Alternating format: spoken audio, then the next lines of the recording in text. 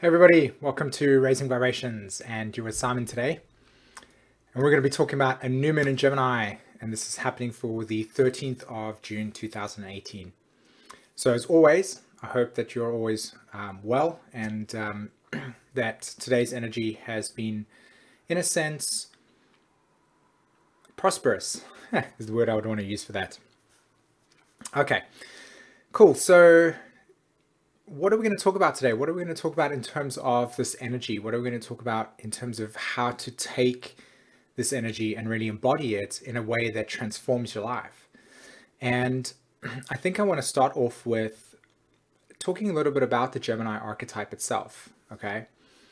Gemini is the energy that allows us to know how we can communicate, is one of them. Okay.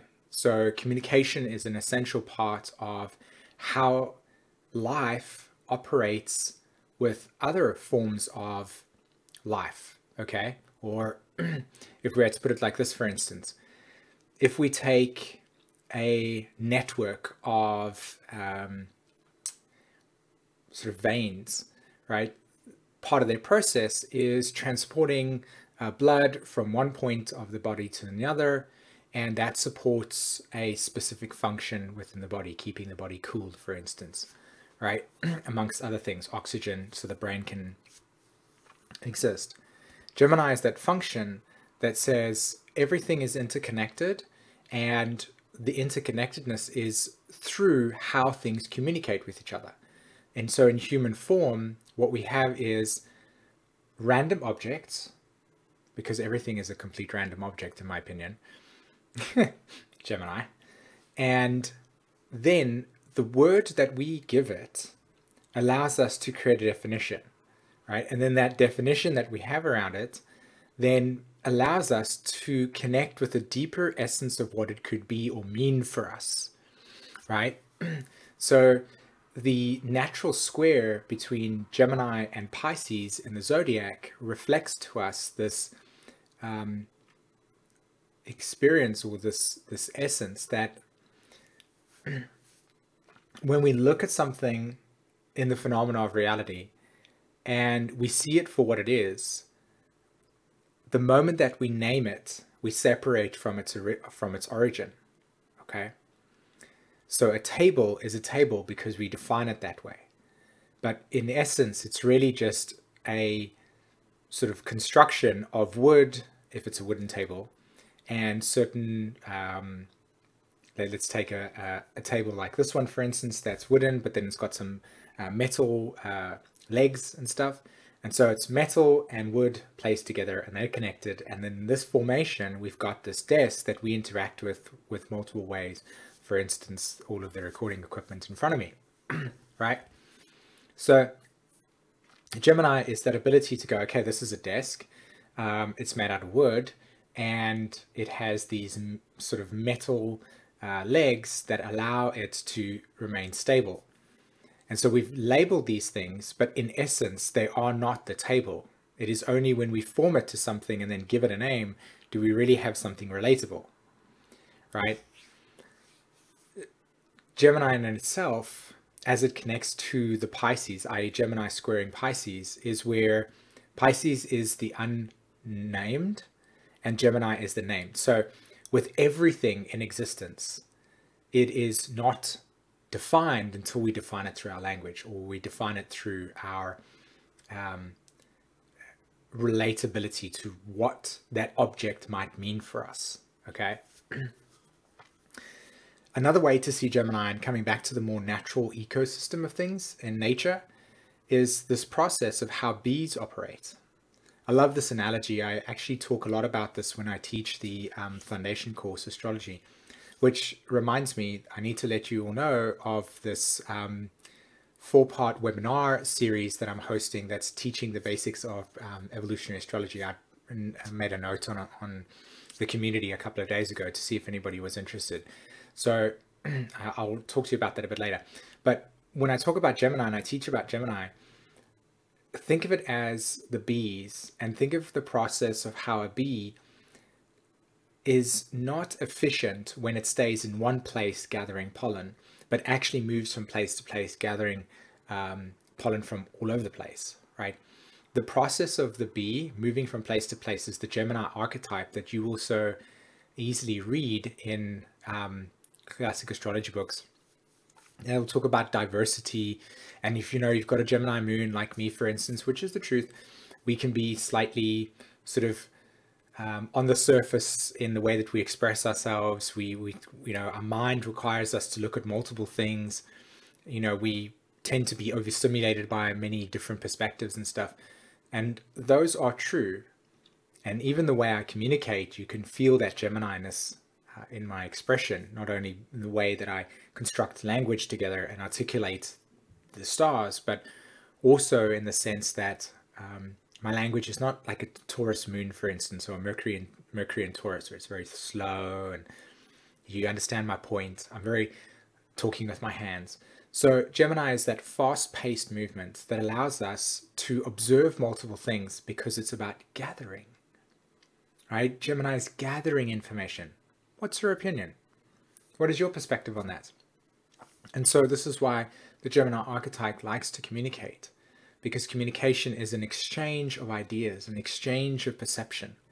And it's not going to hold its attention for more than 15 minutes because if it were to, it would be falling into the category of the Scorpio archetype, which is about very laser uh, focused in experience. And it's it's funny because I have a Gemini moon and my partner has a Gemini uh, moon in Scorpio.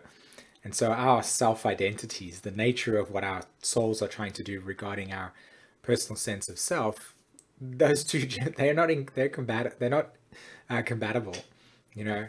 So my Gemini is like there isn't anything more than just what's on the surface. And the Scorpio moon says, yes, but we must drill down to the bottom and figure it out. And it's like, but there isn't anything to figure out because there's nothing there. Um, and sometimes that's correct, and sometimes there is more, and the Gemini must go down into this into the basement to discover that stuff. So you get the essence of Gemini out. and for any of you that have obviously had your birthdays in Gemini, uh, happy birthday.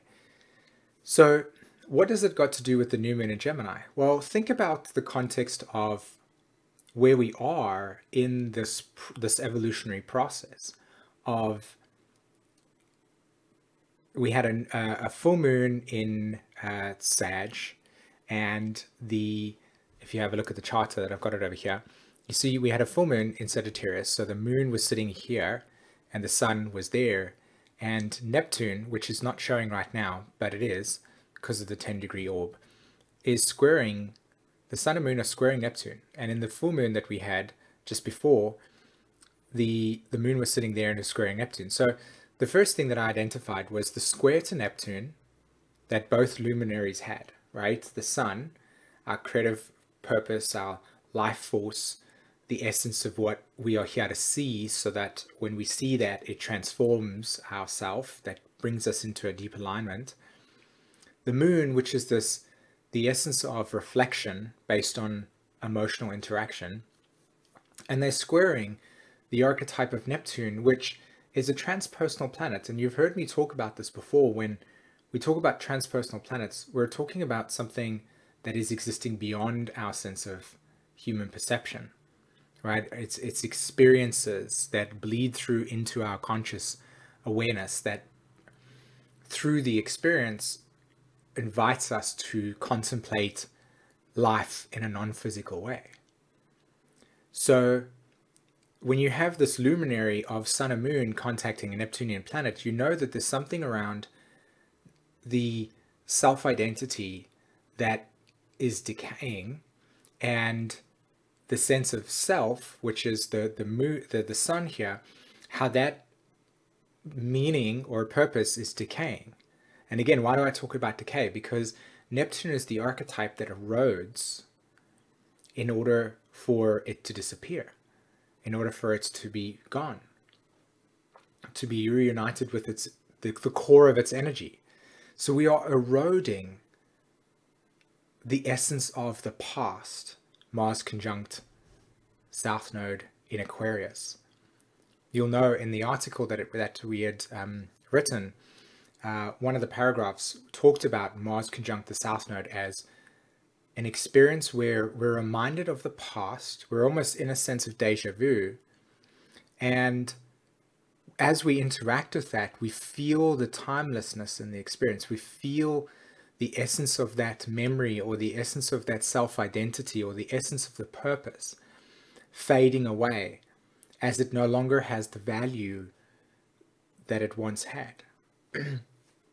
so now that the sun and the moon are connecting to Neptune again, and the sun and the moon are also making a, a connection to Uranus, uh, sorry, to the south nodes, as you can see there, right?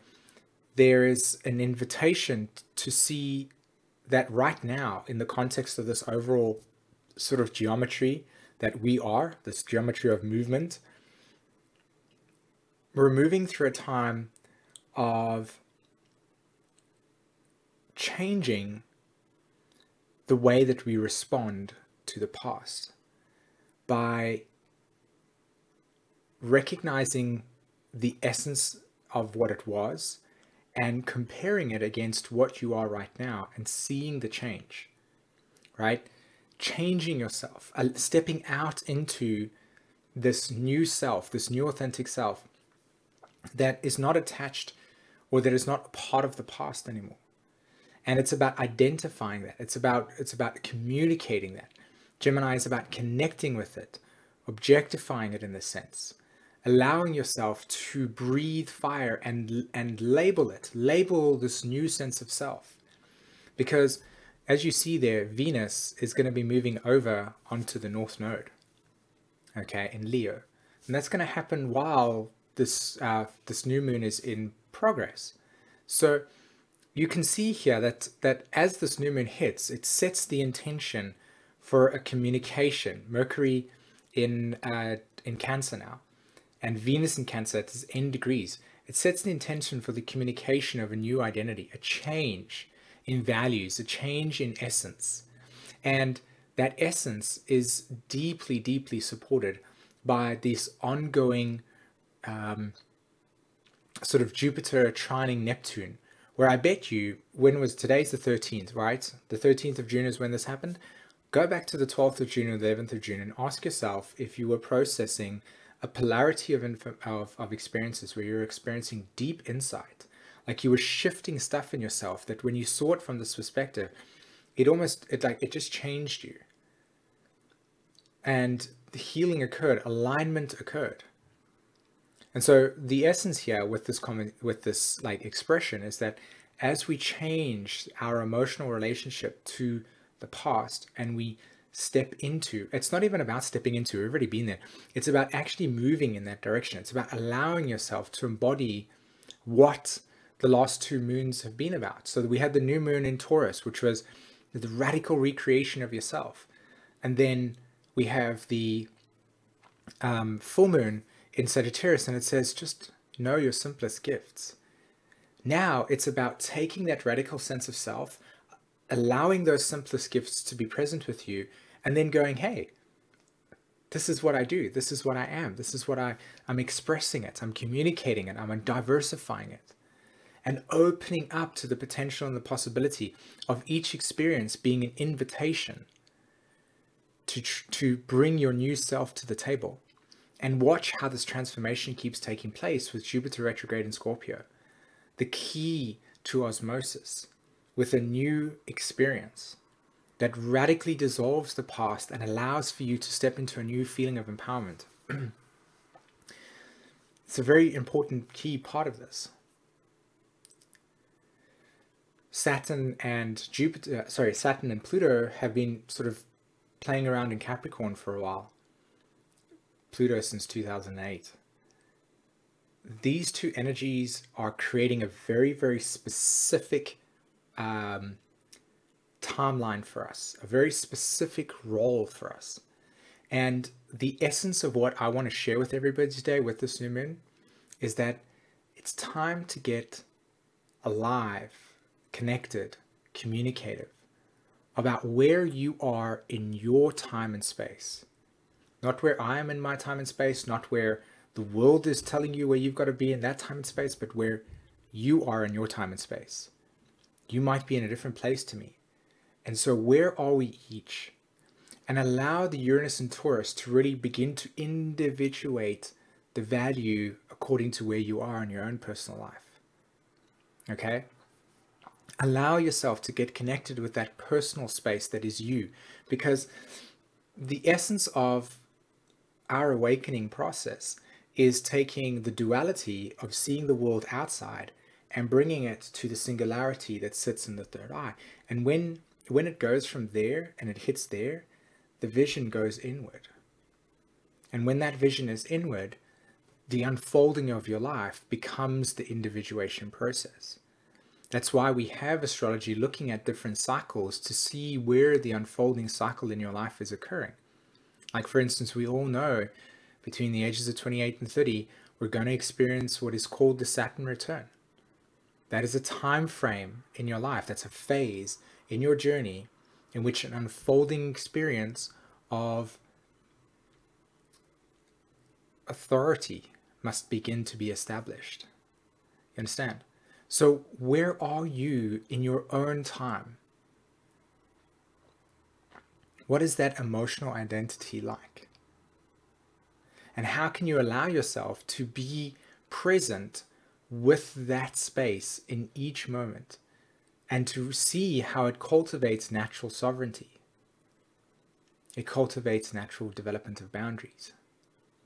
It supports your ability to identify what are those emotions that you're processing.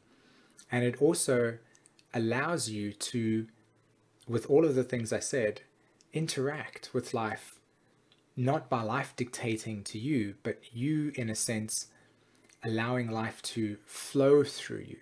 So when I talk about dictating, I mean more along the lines that we have these certain obligations that we have to live by, uh, and these attachments that we have, and sometimes our bodies don't want to do that. I mean, we're very outside the realm of what's natural for us. We don't really live in that world completely yet. So we do have to take our time that is ourself because we might wake up on a Monday morning and not feel like we want to go and do the job that we want to do. Or on Wednesday, we might not feel amped up and ready to do what we need to do because where we are here and where the outside time is, is a different place. So, how are we connected or disconnected from ourselves? This is all about with Saturn and Capricorn getting into the process of what is your natural time. What is your natural time? It has a lot to do with time, this energy, this energy right now, the timing of things, the timing of of how things get put out, as an example um, something that I'm really, really excited about. And I, you can see on the bottom of the screen over here, I've been working with Patreon for a while. And I'm really excited to have opened up a tier where I will be posting all of my content on Patreon, right? All of my content goes to Patreon and there's lots that you can learn there. So I encourage you to actually go to Patreon and check out what I do. And there's a tier that says, just come and enjoy what I do here, right? It's, it's for free you don't have to you don't have to um, pay to receive what you experience on that tier. If you would like to share some of your own personal value, then that's amazing, but you don't have to. And this is my first step in the direction of Uranus and Taurus, which is about energy exchange in a way because I've always wanted to do this. It's just the timing has not been right. But now the timing is slowly with the support of this energy alignment, beginning to change the way that we psychologically understand scarcity, abundance, and energy exchange. So,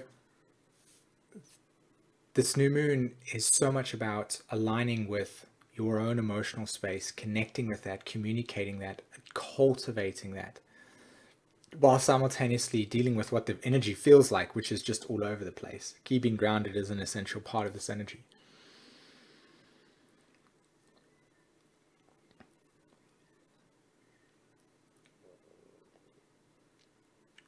Unfortunately, over the last um, week, we've had uh, two events, and I'm actually, to be honest, I'm not even going to say that. The world we live in today and the life that we have led for ourselves unfortunately contains a tremendous amount of um, sadness and depression.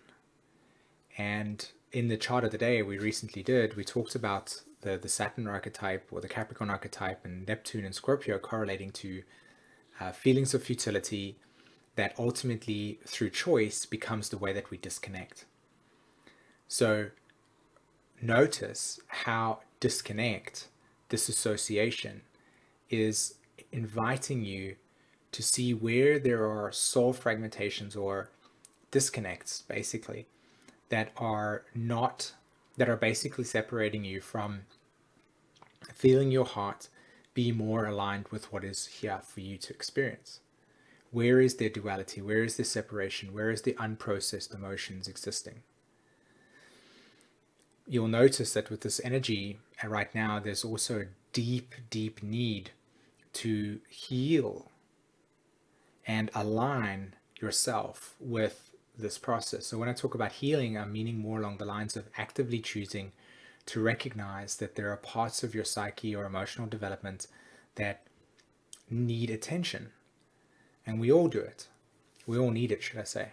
And so alignment is a process of becoming aligned with what is needed to resolve some of the different states of emotions that we carry within us. So this Saturn in Capricorn, Pluto in Capricorn, it's it's revealing to us this need to heal some of the trapped emotions that we might carry and to to communicate them. Mercury in Cancer, Sun and Moon in Gemini, right? Venus in Cancer is about across the node. Therapy is a very important part about around healing the fragmented essences of ourselves, the disassociated essence of ourselves. Because the more that we can remove that uh, energetic band keeps us in duality, the deeper our experience for connecting to our hearts becomes. Okay, everybody. Thank you so much for letting me share this video with you today. And um, I'd like to let you know now as well that on the 20th, I'm not 100% sure now exactly because I know I did that. I think it's Saturday the 23rd. Saturday the 23rd, I am hosting a four uh, series of four webinars. So it's going to last one week uh, for four weeks. Uh, evolutionary astrology basics. And we're going to be doing principles in evolutionary astrology in the soul. We're going to be learning about the 12 archetypes. We're going to be learning about Pluto and the nodes. And we're going to be doing chart examples and Q&A.